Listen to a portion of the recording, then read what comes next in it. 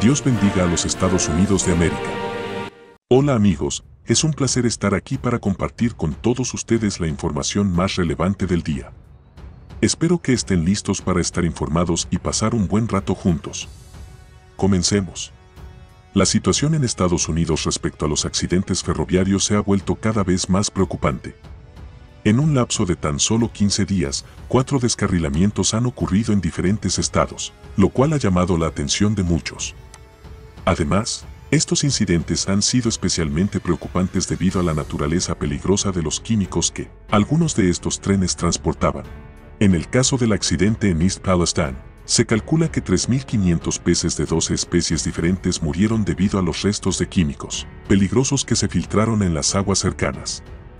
Por otro lado, la explosión controlada en Ohio, aunque se realizó con la intención de evitar mayores daños, ha generado preocupación en los habitantes de la zona debido al riesgo de problemas respiratorios y cáncer.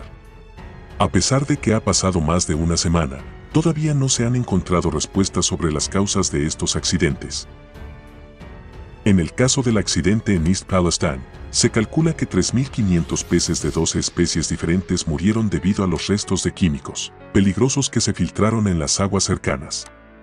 Por otro lado, la explosión controlada en Ohio, aunque se realizó con la intención de evitar mayores daños, ha generado preocupación en los habitantes de la zona debido al riesgo de problemas respiratorios. A pesar de que ha pasado más de una semana, todavía no se han encontrado respuestas sobre las causas de estos accidentes. Este patrón ha llevado a los políticos republicanos Marco Rubio y J.D. Vance a cuestionar si la falta de personal adecuado podría haber prevenido la catástrofe ambiental en East Palestine. A pesar de que aún no está claro si la responsabilidad recae en la empresa propietaria del tren o en la administración Biden, lo cierto es que la situación es preocupante y ha generado una incertidumbre generalizada.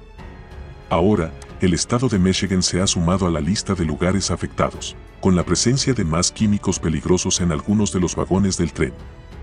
Mis amigos, los ciudadanos estadounidenses están ansiosos por entender la situación actual. De hecho, episodios como estos han ocurrido en el país desde hace varios años. A través de una revisión exhaustiva de informes federales de incidentes de la última década, USA Today identificó más de 5.000 casos de derrames o fugas de sustancias peligrosas provenientes de trenes. Sin embargo, los últimos cuatro incidentes han generado mayor alarma debido a su proximidad en fechas. La política republicana Laura Loomer sugiere que esto puede ser parte de una arremetida coordinada contra el sistema ferroviario en todo el país, especialmente porque estos incidentes han ocurrido en estados clave para las elecciones como Ohio, Texas, Carolina del Sur y Michigan. Algunos críticos, como Maxi Miller, ex asesor de Donald Trump, han expresado su descontento con la falta de acción del secretario de Transporte, Pete Buttigieg, ante estos sucesos. También se ha señalado la omisión de los medios progresistas al informar sobre los primeros tres descarrilamientos.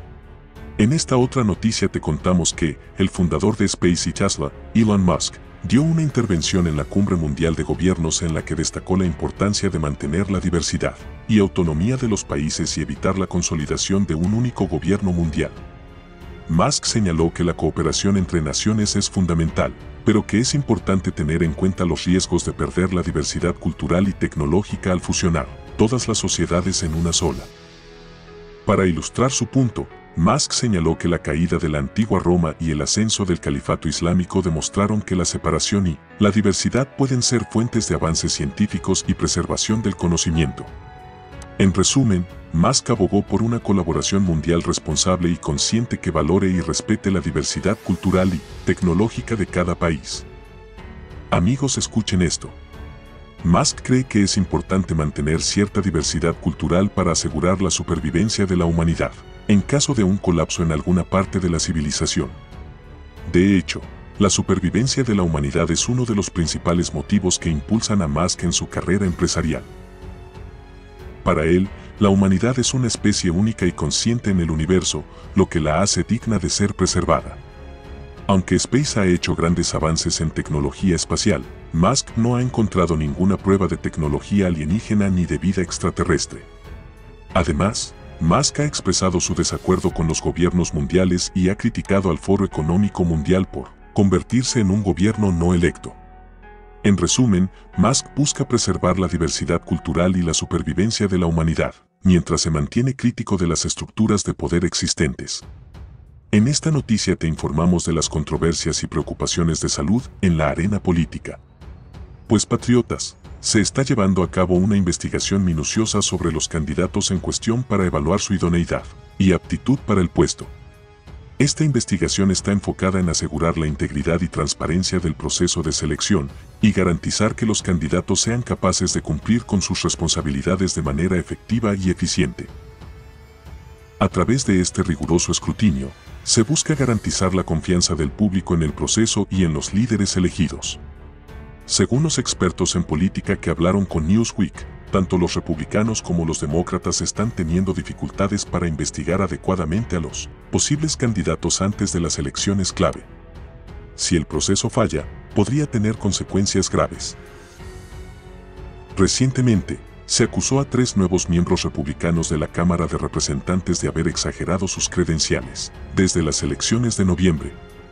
El representante George Santos, en particular, ha sido objeto de llamados a renunciar debido a acusaciones de haber mentido sobre su historia personal, incluyendo su educación, experiencia laboral y afirmaciones de ser el nieto de refugiados del Holocausto. Aunque ha admitido haber embellecido su currículum, ha rechazado las peticiones de renuncia. Y esto sigue mis amigos. Pues la representante Anna Paulina Luna ha refutado categóricamente un informe publicado en The Washington Post, que hizo una serie de acusaciones de que Luna había distorsionado su historial, y también ha manifestado su intención de tomar medidas legales contra el periódico.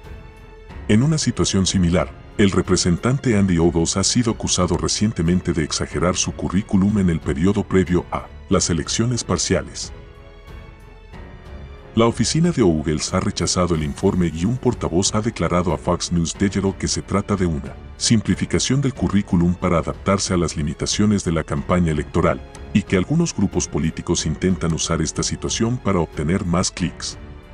En el campo demócrata, hay preocupación por la salud del senador John Fetterman, quien ha sido hospitalizado para recibir tratamiento por depresión clínica. Fetterman sufrió un derrame cerebral en mayo pasado mientras hacía campaña en Pensilvania. Esta última noticia, mis patriotas, es para que me digas en los comentarios qué opinas, de que la admiración que George Soros ha expresado por Ron DeSantis ha causado un gran revuelo entre los seguidores de Donald Trump.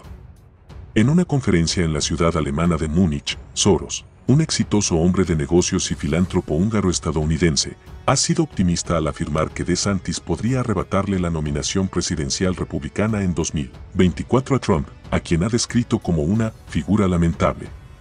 ¿Qué se cree Soros para hablar así del titán? Y es aquí cuando yo te pregunto. ¿Podría ser que George Soros se sienta jefe del Partido Republicano al expresarse de esa manera? Déjame tu comentario a estas impactantes noticias. Mil gracias por tu apoyo al darme tu opinión. Dios te bendiga.